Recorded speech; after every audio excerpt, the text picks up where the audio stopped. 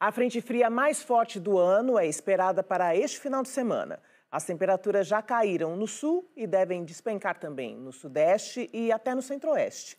O repórter Felipe Neves tem os detalhes. Boa tarde, Felipe.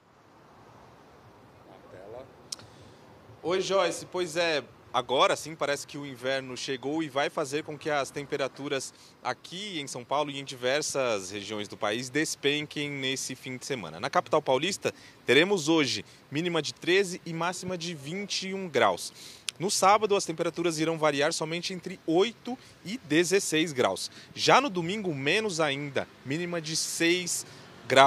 Essa situação deve permanecer durante toda a semana que vem. Isso segundo o Instituto Nacional de Meteorologia. Aqui para São Paulo também estão é, previstas pancadas de chuva. Por conta disso tudo, o governo de São Paulo abre hoje a, a estação Pedro II do metrô, é o abrigo solidário, né, que vai é, receber ali até 100 pessoas em situação de vulnerabilidade. Falando da situação de outros estados, no Sudeste e no Centro-Oeste, a temperatura deve ser similar à registrada aqui em São Paulo. Já nas serras gaúcha e catarinense pode ser registrada a presença de neve, por isso é bom ficar atento.